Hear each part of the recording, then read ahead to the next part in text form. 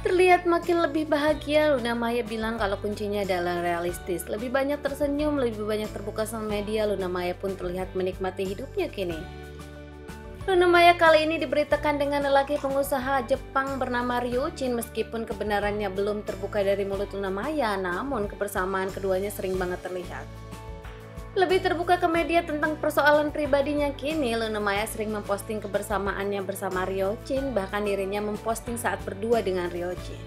Lebih menikmati hidup, banyak tersenyum, Luna Maya pun menghabiskan akhir tahun baru hingga awal tahun baru bersama Ryujin dan teman-teman, terlihat dari postingan Raffi Ahmad yang bersama Luna Maya saat itu. Tak sedikit peramal menyebutkan kalau di tahun 2020 ini Luna Maya akan dinikahi pria Asia. Ya, Ryojin ada keturunan Jepang Korea yang tinggal di Jepang dan bisa bahasa Indonesia. Show.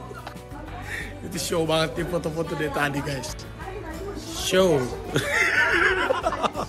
Itu show banget nih foto-foto dari tadi show banget.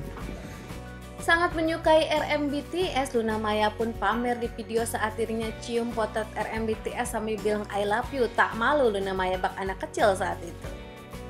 Seperti para fans pada umumnya, Luna Maya pun nonton konser ke beberapa negara mengikuti hingga koleksi albumnya Luna Maya terang-terangan seperti yang lainnya berburu konser. Tak diragukan, nama Luna Maya memang sukses di dunia perfilman. Siapa yang tak kenal Luna Maya? Ya, aktingnya pun nomor satu untuk aktris terbaik. Namun masalah percintaan nampaknya Luna Maya kurang beruntung. Putus dengan sang mantan, sang mantan menikah dengan temannya. Namun bersyukur kali ini dirinya sudah move on. Oke guys, kita ketemu sama Rio dan Luna Maya. Show banget ini tempatnya. Show, show banget. Ya. Uh, apalagi yang itu tuh, show itu. Show banget. Banyak teman baru atau kehilangan teman palsu? Banyak teman baru.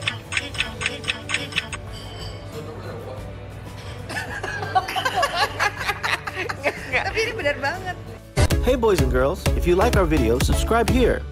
Click here for our new videos and click here for something just for you.